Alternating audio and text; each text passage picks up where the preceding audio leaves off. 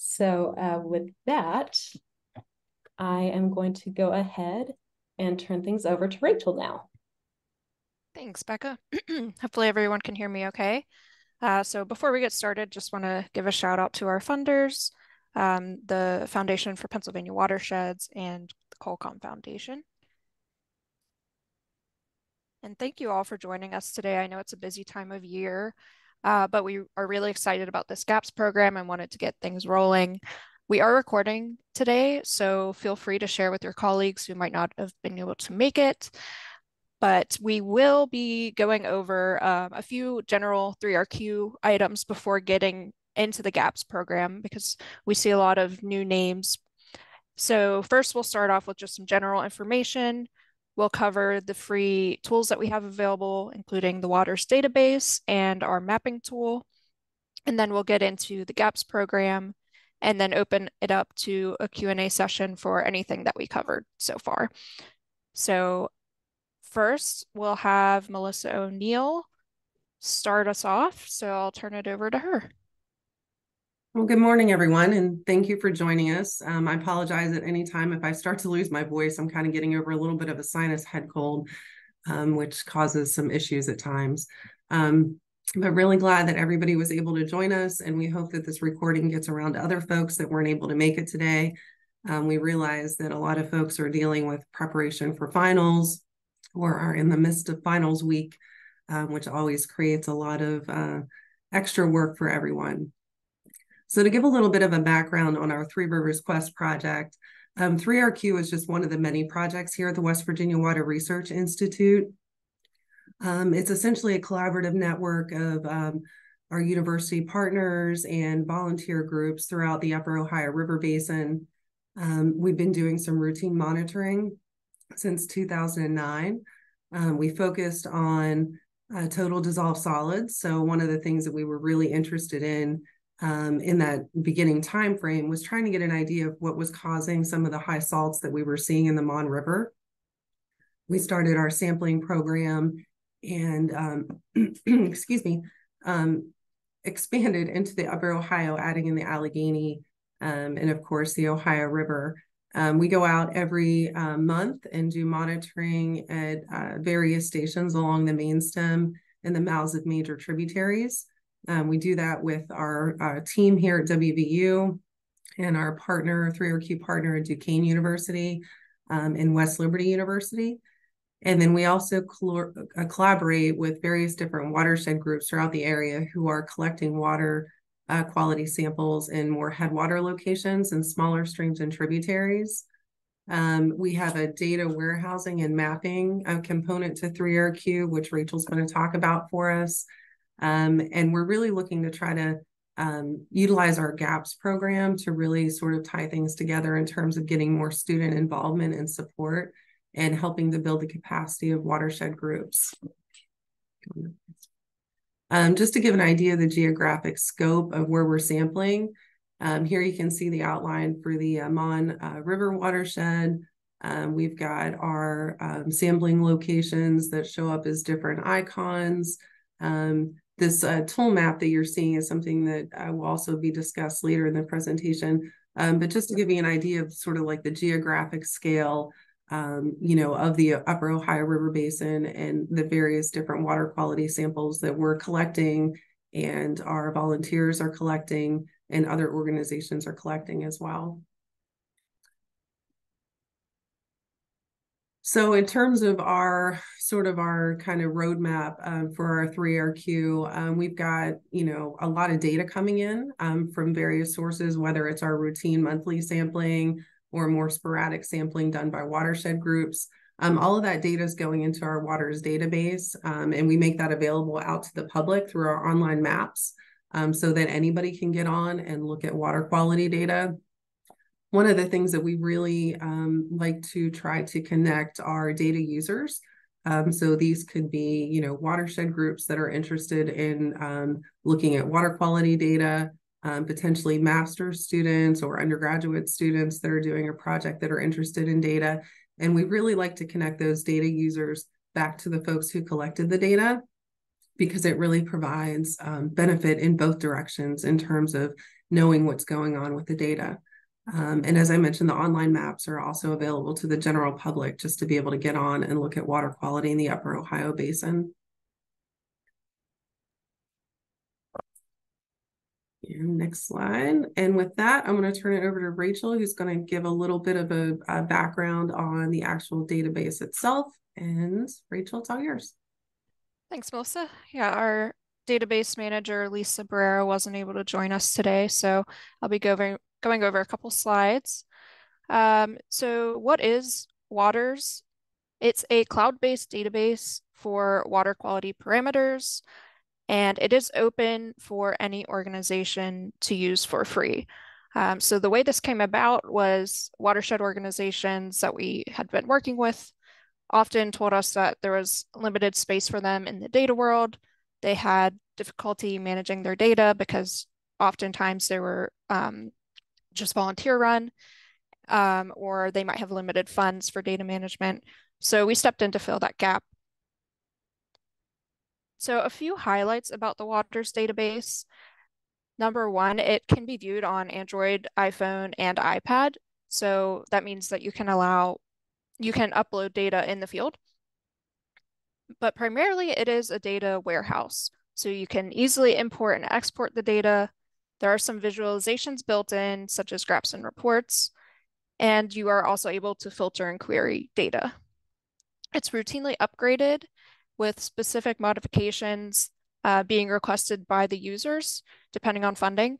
Uh, but we are constantly going in and making upgrades um, as we have funds are, as well.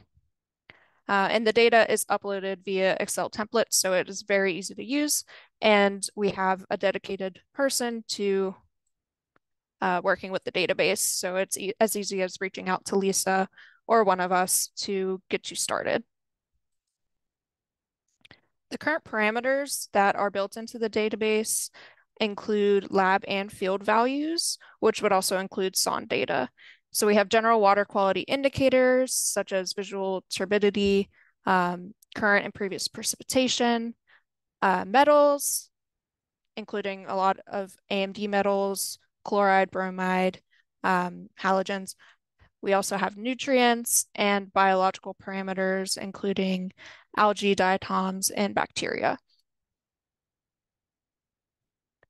The data organization within the warehouse you are able to query the data falling within either specified values, such as a pH range of two to six, or within spe specific date ranges.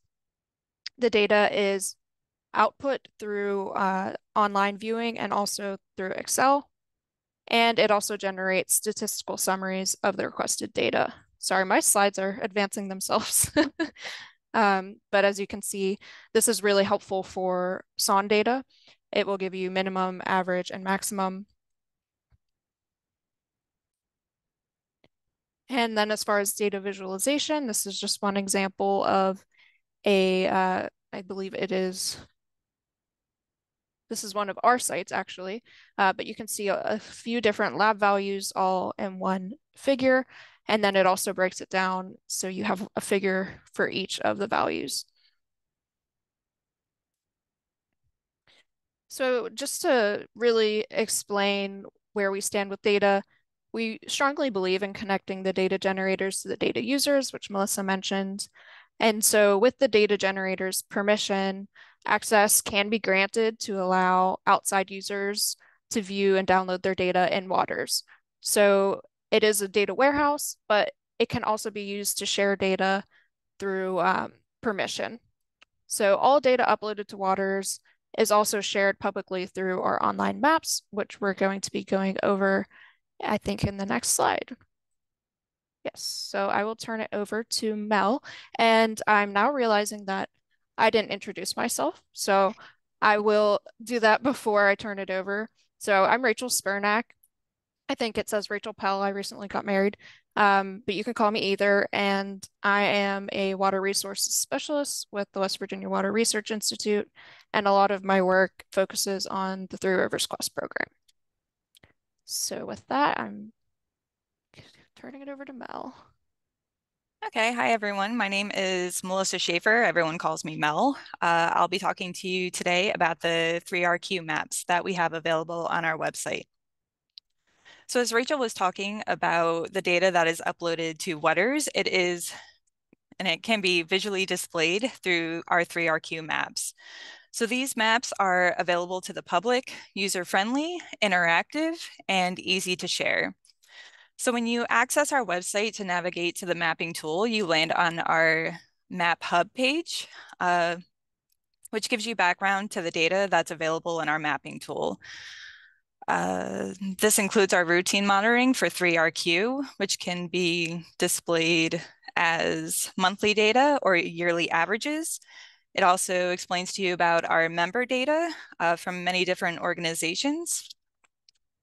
Um, yeah, and it also gives us background information on our targeted studies, which these are studies that researchers responded to citizen concerns and they developed focus studies and expanded monitoring to include additional parameters to provide a fast response to emerging water issues. Uh, next slide. Thank you. Uh, story maps are also found on the Mapping Hub, uh, which they are a deeper dive into 3RQ's targeted studies.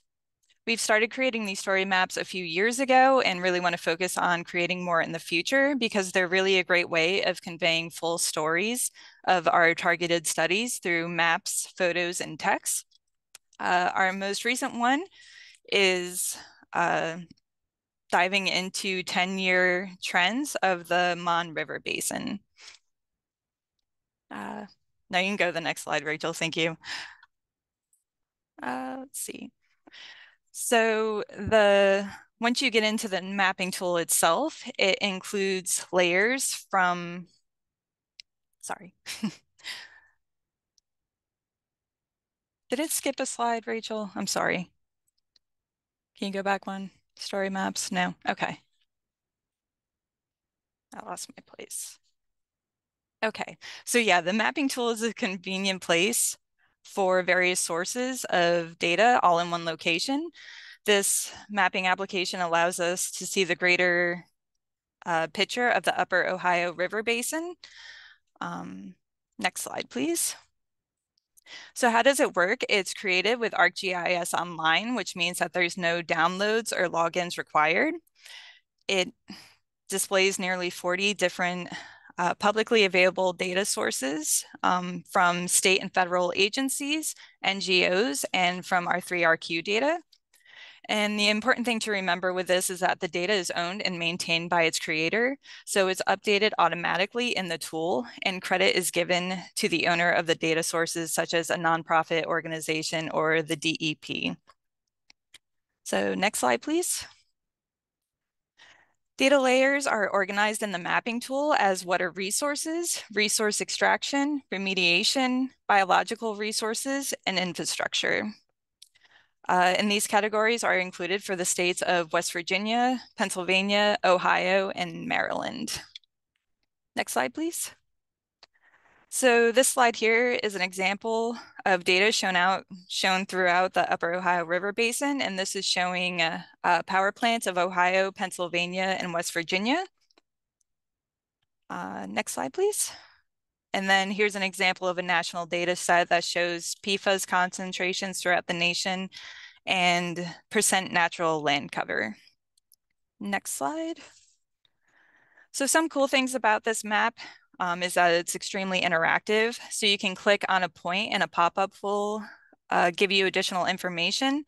This example here is of our monthly 3RQ data from the Youghiogheny River, and it shows all the parameters that we test for.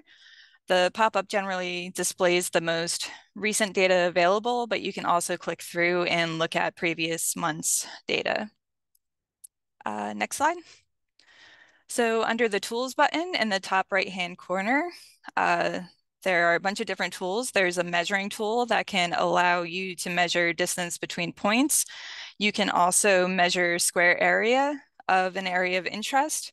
And you can also change the units from miles to kilometers, feet, etc. Uh, next slide. There, you can also change the base maps in the tools button from you know, imagery to USGS maps, topographic maps, etc. Uh, next slide. Uh, also in the tools, you can add additional data that's not included in the mapping tool already. You can do this by searching in the toolbar. You can copy and paste a URL from a known source, or you can upload a file from your own computer. Uh, and finally, you can also print um, from this application. You can choose your layout and format. Next slide. So really there's tons of potential for using this mapping tool. Uh, some of the applications are creating high quality maps for proposals and report, engaging the public and local waterways, identifying spatial trends, and investigating potential sources of water quality issues. As an example, we recently used this tool for uh, because we found high TDS values in one of our routine sampling sites. So we were able to look at the proximity of USGS gauge in the area, look at the data that they had, um, look at discharges from Pennsylvania and West Virginia DEP because the stream in question crossed state borders. Um, and also we were able to look at imagery and land use to really zoom in on the issue and to see what was going on. So next slide. So after working on this application for a while, it's finally ready to be used and shared. Uh, so as you're looking through this mapping tool, we'd really appreciate any feedback that you had or any additional layers that you think might be useful. There is a link to a form that you can fill out on the mapping tool itself and can also be found on our website. And finally, here's the link to access the mapping tool. And once you get to the mapping hub, there's also a quick start uh, video to help you, you know, navigate the tool. So thank you. And with that, I'll turn it back over to Rachel so she can talk about the GAPS project or program. Thanks. Thanks, Mel. yeah, to sum up um, all of that background information that was covered and to kind of give you an idea of where we are coming from with this new GAPS program, um, so 3RQ not only implements routine monitoring, we also collaborate frequently with watershed-based groups, and we've been doing this for over 10 years. Uh, we work with the different agencies in West Virginia and Pennsylvania, and we also provide resources and research for specific needs. So 3RQ is a network, not an organization. So we all have our own like day jobs here at WRI. 3RQ is just a small part of what we do. excuse me. We also have a lot of experience working with acid mine drainage, and this includes working with watershed groups in West Virginia to apply for federal 319 grants and implement uh, to construct AMD treatment systems. So kind of from all of this work we've been doing for so long, a lot of the conversations that kept coming back up were that um, watershed groups don't have the resources they need to really prepare to submit a grant. And this also came up with uh, our conversations with Foundation for Pennsylvania Watersheds. And we really just wanted to step in and provide an extra resource there by filling in um, assistance at the very beginning before you even would write the grant. So what is GAPS? It is assistance with collecting, managing, and analyzing data in preparation for a remediation funding request. That's what it is at its core. Um, we opened up the assistance last year for grassroots organizations and this year for small colleges and universities. And so again, this is really looking to fill that gap in funding to prepare for larger grants to actually accomplish remediation. And this could be federal, state, or private grants. Uh, this program is also geared towards non-point source pollution. So that would include things like acid mine drainage, sedimentation, um, fecal coliform, things like that. And just to make it even clearer, we created this little flowchart using the example of a 319 grant preparation process, uh, but it really could be extended to any type of grant.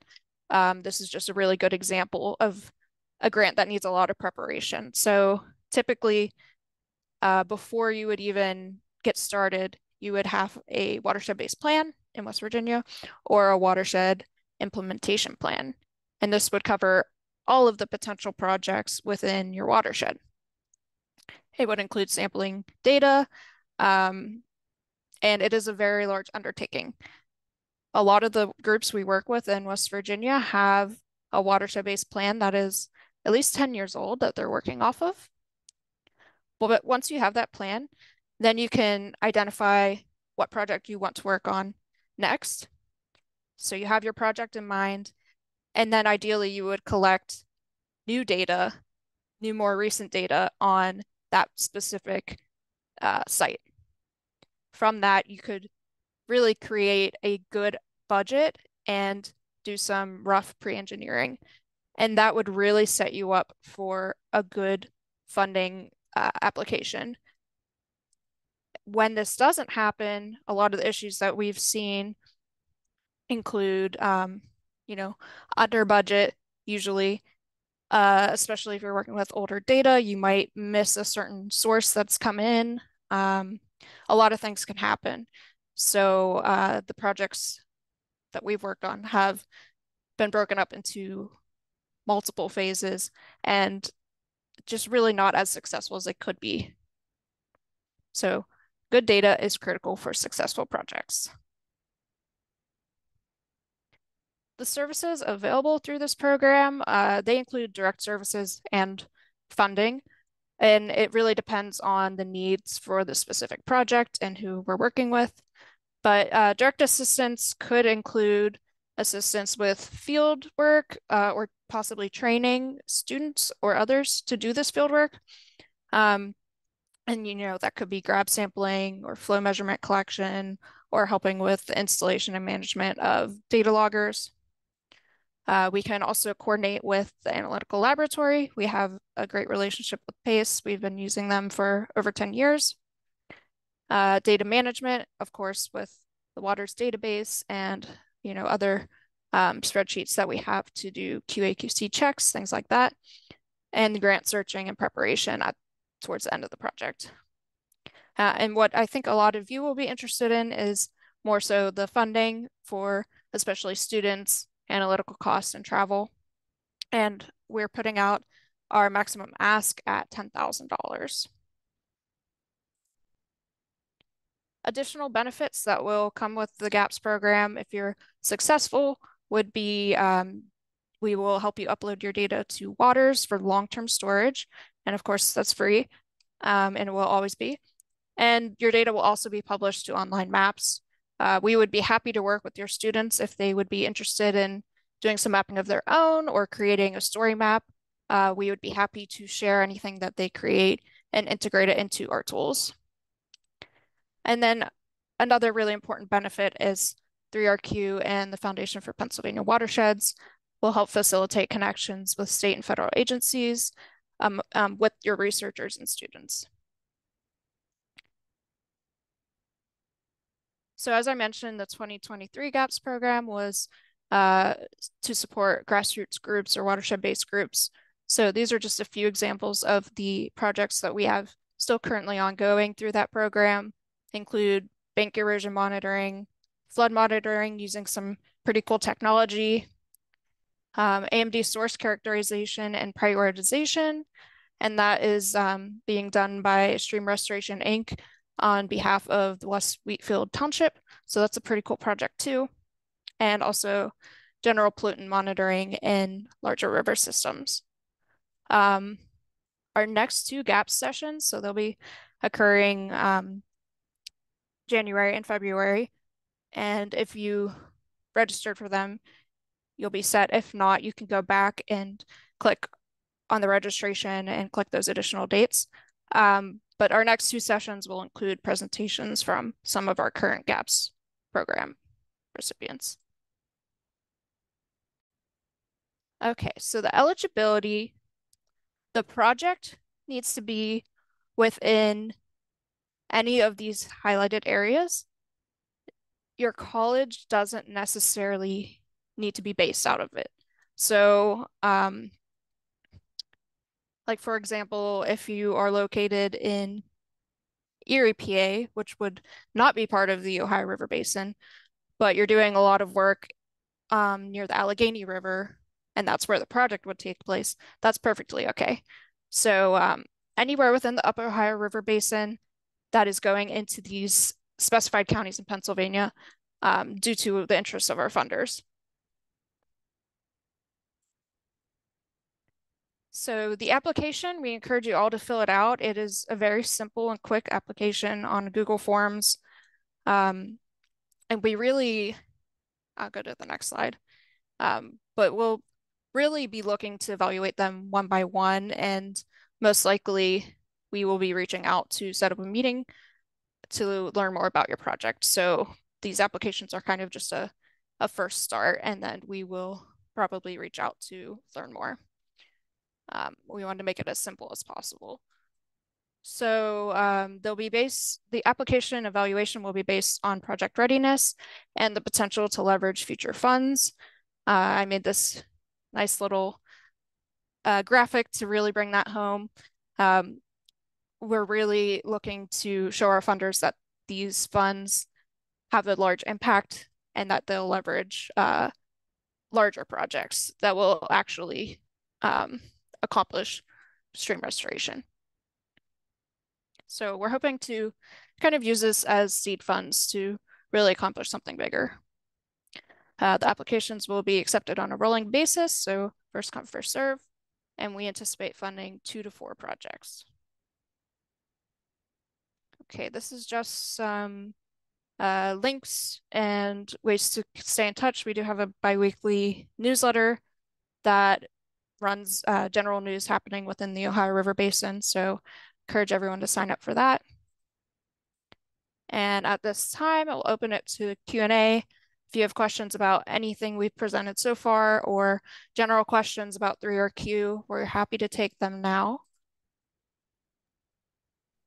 Uh, yeah, while other people are typing in the chat, I had a couple of questions myself. Um, and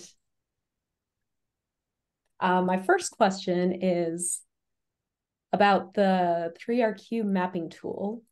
And I'm wondering if you could tell me in non-STEM terms what that data would be able to tell me about Fayette County, Pennsylvania, and or Point Marion, Pennsylvania, because that's where I live. So I'm like super curious about that and interested.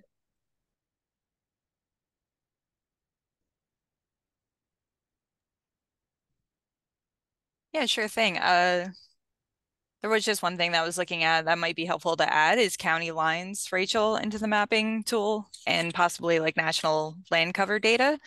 But if you go to the map, once you open it up, you can zoom in and out to any area of interest. And then since you're looking specifically at Pennsylvania, you can toggle over to the Pennsylvania icon and it gives you all of the data that we have available for Pennsylvania in general. So you can start clicking through to see um, if you're looking at infrastructure, you can look at active landfills and then just kind of focus in on your hometown and see exactly like, are there any close to your home or anything like that?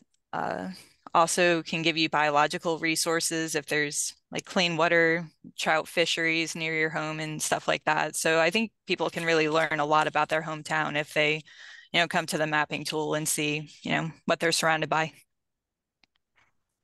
That's awesome. Thank you so much, Mel. Uh, we had another question pop up in the chat uh, from Robert, and they asked, are you looking for specific project-based, which may be short-term or long-term monitoring, or a combination of both? That's a good question, Rob. Um, so while the 3RQ program itself does a lot of like long-term monitoring on our, you know, surface waters, for the GAPS projects, we're looking for things that are more uh, short-term specific to um, getting that background data that you need to help your grant application for some sort of restoration project. So it'd be a shorter term sampling. So, and we'd love to hear um, more information. If you have a particular site in mind, um, you know, feel free to just start talking. We're we've got a little bit of time left this morning. We wanted to leave a lot of time for discussion um, to hear about some potential ideas that folks have. So feel free to speak up. Uh, Rob says, thank you. And then Callie says, thanks, this is all great info. I'm excited to learn about Waters database. Any plans to add benthic macroinvertebrate data? Can you add the link to sign up for the newsletter in the chat, please, as well? So uh, benthic macroinvertebrate data is something that comes up a lot and something that we're definitely interested in. It would be a really, it would be a larger scale upgrade, um, a little bit expensive. So that's the reason why we haven't done it yet. Um, I'll let Melissa add anything, but I'll put the link in the chat to the newsletter sign up. Yeah, I know that like with just adding the water quality stuff in, it was really complex to do. Um, one of our challenges, I think, um, to be able to build something to add in the benthic data is that each of the different states that we work with sort of deal with the the benthic evaluation a little bit differently. Um, and there are some existing databases out there. I know like Izaak Walton League has a program um, that they, you know, do benthic sampling. Um, I think a short and easy sort of workaround for that is to be able to utilize the map so that we can overlay um, any existing benthic data that folks um, have out there existing in ArcGIS layers um, and be able to look at that visually next to uh, any water quality data that we have. Um, but at this point, we don't have um, open funding available to be able to just add in um, an expansion in the database itself for that benthic data. And I know it would probably be a pretty expensive and pretty um, complex thing to add in. Um, and that's one of the reasons that we haven't done it is there just hasn't been a great funding opportunity to go after to, um, you know, provide that funding to do it. Hope that helps. It's not a great answer, but at least visually we can look at the data side by side, you know, through the tool map, um, anything that exists in an ArcGIS layer, layer and be able to look at that. Does that help, Callie? Uh, Callie says, completely understand. Thank you. Yes, absolutely. Yeah, and I mean, you could always, um, you know, if, if there is a, a situation like that where there's a particular area that you're interested in, and you can visually see that there's water quality data available and benthic data available um, you know you can come to us and we can you know figure out who it is that owns that data the water quality data and get permission to be able to pull that data you know into an excel format or something that you would be able to work with um, and the same thing on the benthic side. So you know looking to see who generated that initial layer and if that data is available um, you know, in a more raw format, if you've got a student or somebody that wants to work with it, um, that they would be able to do more analysis um, and correlate those data sets.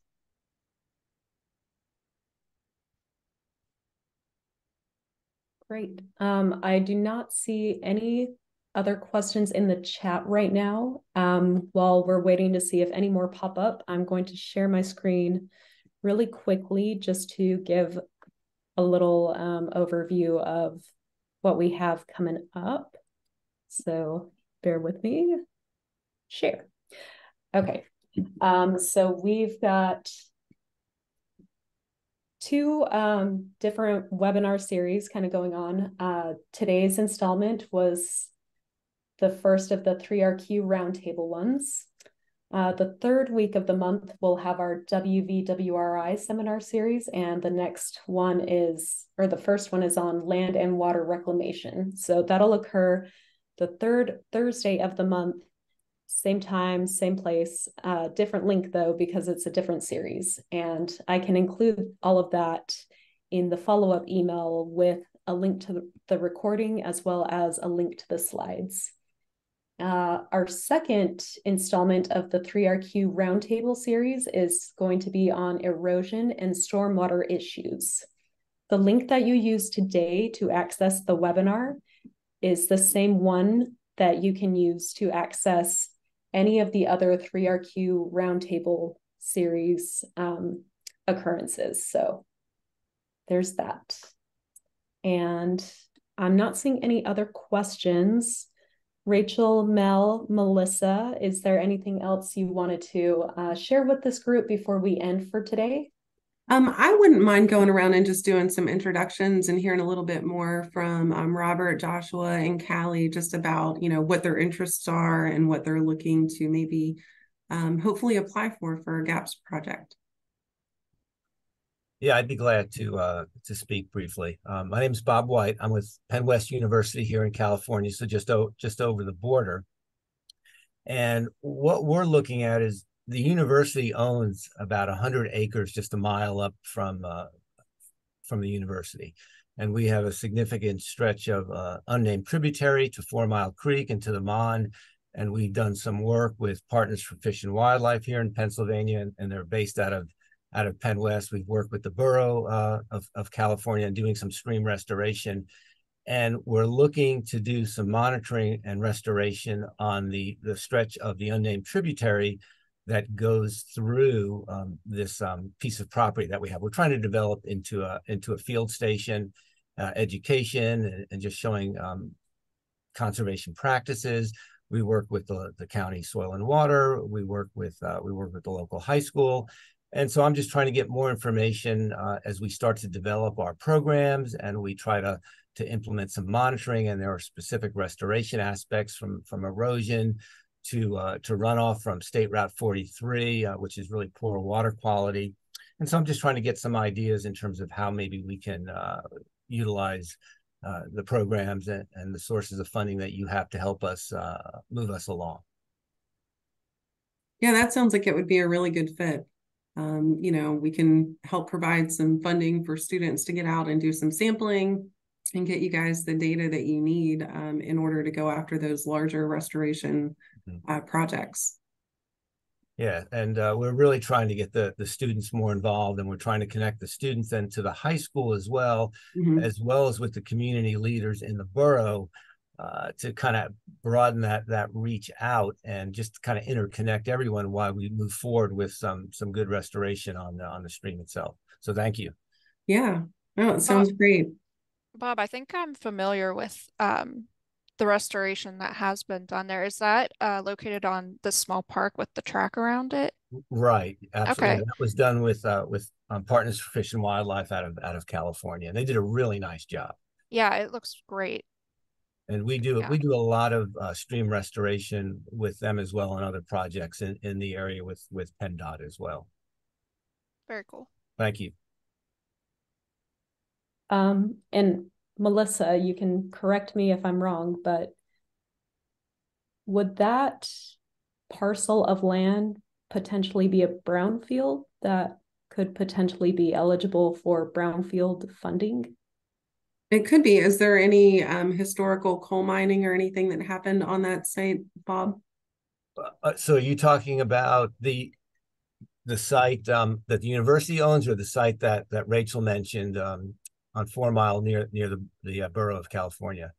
Either I'm one. Not, I'm not sure if either site has had any uh, any coal mining, though I do know that the the hundred acre piece uh, that they have actually um, leased leased out for um uh, for for gas. Um, but I don't know whether that's ever going to happen or not. But I don't think any coal mining's been done. But I have to check on that most areas around here, I know the adjoining area, there's been a lot of coal mining, but on that piece, I'd have to double check. Yeah, the reason uh, Becca was interested in that is the Water Research Institute is also home to the Northern Brownfields Assistance Center, um, who are the current um, recipient of the EPA uh, Region 3 Technical Assistance to Brownfields Award. Um, so they're actually working in Region 3, um, providing any technical assistance uh, for brownfields. So um, the reason I ask about coal mining is because that's one thing that some folks don't associate as being a brownfield. Um, if it were, you know, a historic coal mining site that was pre-law, um, it actually falls into the brownfields category. And um, Becca, you might want to mention just some other things that kind of make a uh, piece of land potentially fall into a brownfields um, Yeah. category. If you guys aren't familiar with brownfields, Becca can give us a quick brownfields 101. Yeah, super quick 101. A brownfield is a piece of property that might be contaminated. So, a lot of different examples include um, abandoned mine lands, abandoned gas stations, abandoned like car or automotive like repair shops, things like that.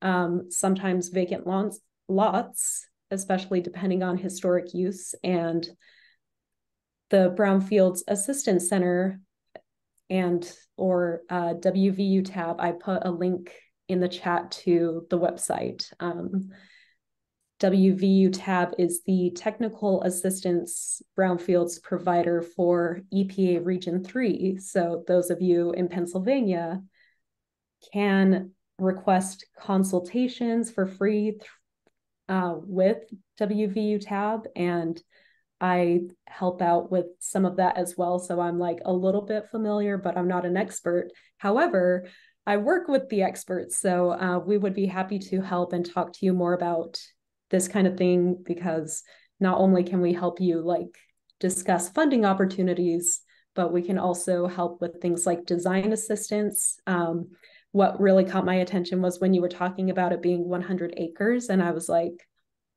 if that's a brownfield, that's something that some of our design students who help us out, like, and help communities for free, are looking for larger lots of land and it's really difficult to find brownfields that are that big. So um, yeah feel free to check out that chat. Um, yeah. Okay, and thank you. yeah thank you.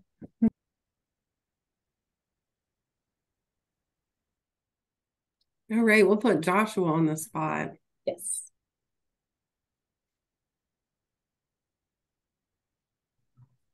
Uh, wasn't really looking too much. I was just more or less joining on to kind of see what was going on. I just recently started getting your um, newsletters and saw the link in there, so I just want to see what it was all about. Oh, Good. We're, we're happy to have you.